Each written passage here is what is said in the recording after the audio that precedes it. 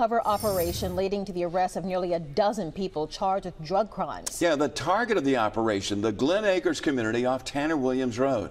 Fox News Lee Peck on the story for us tonight. And Lee, Mobile police have been working on this for quite a while.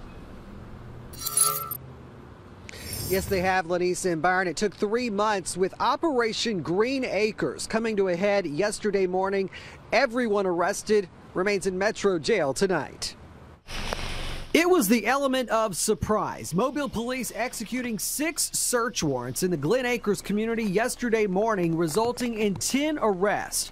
Arrested in what they're calling Operation Green Acres are Dylan Sockrider, Jacob Manning, Randall Yonker, Robert Bailey, and Timothy Helton, all facing drug charges after officers seized crystal meth, marijuana, and illegal prescription pills.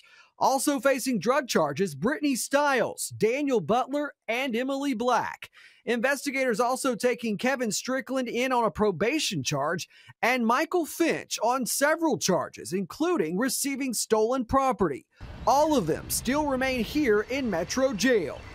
It's a big get for MPD, but technically the operation is still ongoing. There are outstanding warrants for at least seven suspects Mobile police are still looking for. And here they are, still wanted are Alexander Waldrop, David Drawhon, James Carter, Joseph Seats, Minton Matthews, and Roy Carter. If you know where they are, turn them in to Mobile Police. And also during that operation, officers confiscated one gun. Live tonight from Metro Jail, Lee Peck, Fox 10 News.